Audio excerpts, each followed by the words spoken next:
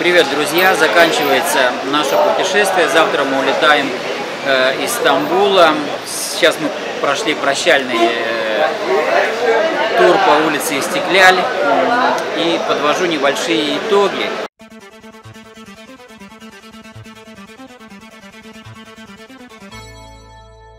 Итак, здравствуйте, друзья! Здесь Демитков Юрий.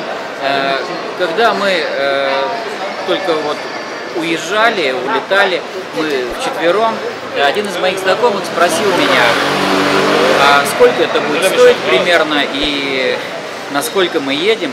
Ну, я сказал, что вот, ну, билеты там, он спрашивал про билеты, билеты стоили там в районе там 70 тысяч на четверых рублей. И дальше я сказал, что вот, ну, мы там э, планируем взять машину в аренду, что мы и сделали, будем жить там, ну, снимать по мере необходимости жилье и так далее. А, ну, он спросил, во сколько примерно обойдется, я сказал 1200, примерно так это и обошлось, он сказал, что это очень дорого, вот, но э, примерно так у нас обычно и обходится, мы обычно по Европе путешествуем. Что я хочу э, сказать, что э, за это время, э, вот за время моих путешествий уже, в общем-то, наработан опыт, и я стремился к тому, чтобы э, ну, э, организовать так, чтобы можно было путешествовать совершенно свободно, э, где хочу, когда хочу и ну, на любое время. И, в принципе, сейчас я достиг этой цели могу сказать. Дело в том, что когда я путешествую, я продолжаю работать точно так же. У меня всегда есть интернет, я беру с собой видео свою аппаратуру и могу снимать где угодно. Вот сейчас вы видите, я прямо на улице стою и снимаю, здесь нет никаких проблем. А, с одной стороны, с другой стороны, размещать, размещать видео тоже достаточно легко. Главное, чтобы был интернет, а он есть практически везде. То есть мы выбираем жилье так, чтобы был интернет. Ну а если нет интернета, то э, в принципе мы э, можем где-то в кафе сесть и там, значит, там что-то разместить.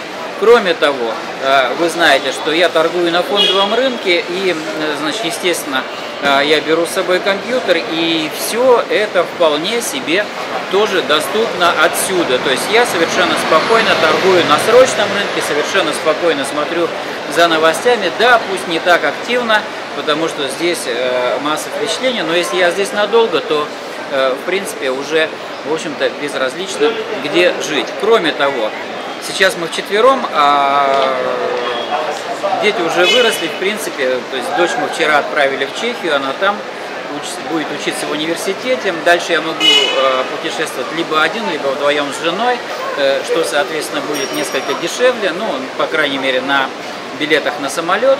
И получается так, что, в общем-то, я не завишу ни от чего.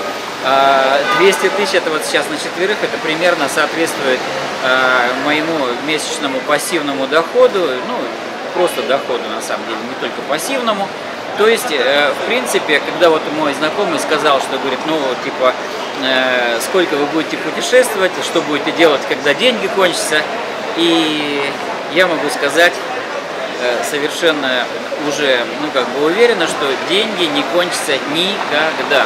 Вот что самое главное, самое интересное. То есть, смотрите, я могу путешествовать там месяц, два, и, в общем-то, деньги никогда не кончатся.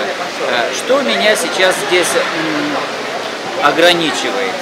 Ну, э, сейчас у нас брошенный дом один, значит, там э, сыну надо учиться, сейчас вот мы завтра возвращаемся, он два дня пропускает учебы, вот это нас останавливает, но это сын-то учится, во-первых, недолго, вот, а во-вторых, э, ну, он уже взрослый, мы можем его отправить просто и, собственно говоря, а, продолжить свое путешествие, он уже вполне себе э, взрослый.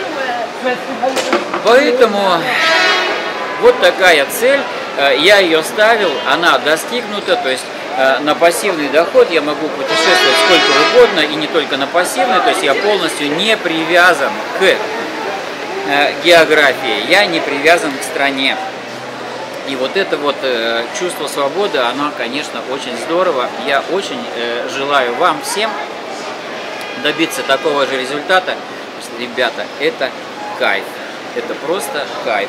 Э, ну, э, жилье снять можно надолго, например, это будет дешевле через Airbnb, там прямо вот сервис такой, э, что можно снять надолго, ну там ну, за 500 евро можно снять, наверное, жилье на месяц э, вполне себе. Ну а дальше, смотрите, э, мы э, в России живем, мы тратим где-то э, там тысячу рублей в день где-то, вот, ну а здесь бывает дешевле, в Турции, по крайней мере, можно и дешевле пропитаться, э, можно дороже, но продукты стоят примерно одинаково. Э, коммунальные услуги, пока мы здесь, мы не платим там, зато ну, здесь, конечно, платим чуть побольше, чем там. То есть, э, как бы, такая штука, что когда мы здесь, мы экономим немножечко там, но зато тратим на еду здесь. То есть, э, ну, как бы мы вполне себе автономны, и это, я еще раз повторяю, очень-очень здорово. Поэтому, друзья мои, создавайте источники пассивного дохода, делайте э, все, что хотите, и стремитесь к своей мечте, делайте конкретные шаги, и у вас все получится так же, как получилось у меня, потому что, ну, я к этому стремился, я делал конкретные шаги, я хотел этого, и я этого добился в свои там уже э, в своем возрасте. А, ну, если вы моложе меня, то у вас тем более все получится, если старше, ну, ничего э, не потеряно, все продолжается. Поэтому, друзья мои, будьте оптимистами и все получится. До встречи!